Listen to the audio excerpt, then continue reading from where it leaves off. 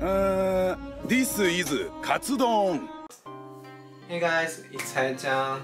Uh, I received a request today, so I'm going to make katsudon. Uh, katsudon is a Japanese dish of rice topped with katsuras cooked with eggs and seasonings. So it's a dish that's loved in every region in Japan. じゃあ作っていきたいと思います。Let's go! First time by slicing a quarter of an onion. Next, let's prepare the pork loin slice. Make several cuts across the top, stringy part between the fat and lean meat. Flip it over and request the process. This will prevent the pork slice from curling up when deep fried. Sprinkle salt and pepper on both sides.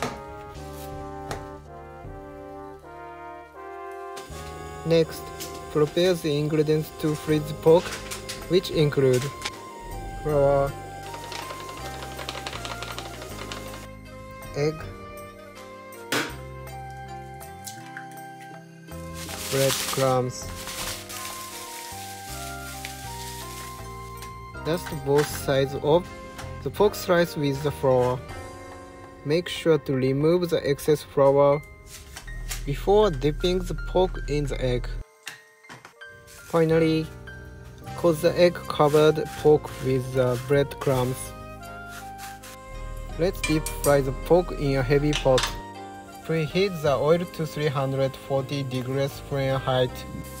Gently place the pork into the oil and deep fry for 2 to 3 minutes. Flip it over and cook the other side for 2 to 3 more minutes until golden brown.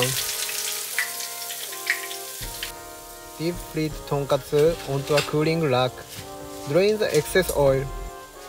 Let's make the katsudon sauce. 50 ml of dashi. 1 tablespoon of sake. 1 tablespoon of mirin. 1 tablespoon of soy sauce. 1 teaspoon of sugar. Turn on the heat to medium heat and onions in a small pan. When it begins to boil, reduce the heat to low and simmer for about 2 minutes. Please refer to this video for how to draw dashi. In the meantime, slice up the katsu and crack 2 eggs and lightly mix them.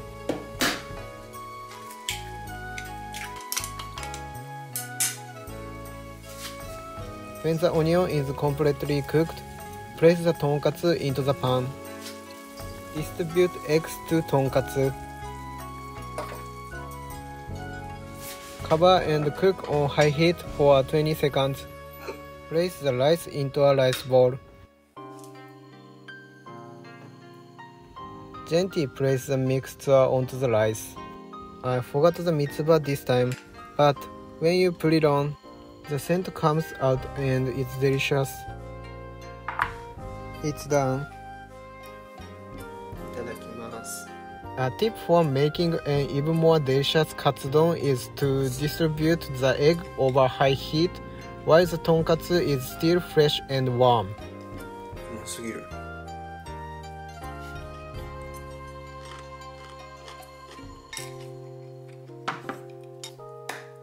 ちそうさまでした。